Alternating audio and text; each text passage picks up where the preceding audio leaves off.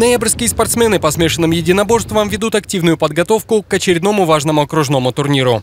В рамках этой подготовки неделю назад наши бойцы заявились на открытый региональный турнир по кёкусинкай карате и заняли там 8 призовых мест, причем половина медалей самого высшего достоинства. Сейчас спортсмены отрабатывают технику в спортзале, доведя до автоматизма нужные приемы. Не побояться пойти навстречу ножки, сразу удар.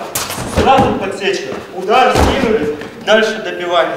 А уже через полтора месяца в ноябрьске пройдут очередные соревнования. Победители будут награждены чемпионским поясом губернатора Ямало-Ненецкого автономного округа и получат возможность выступать на российских и международных турнирах.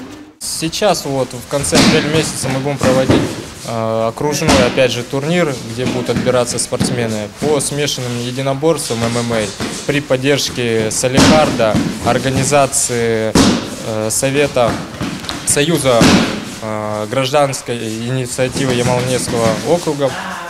Э, вот, будут введены чемпионские пояса э, в трех весовых категориях.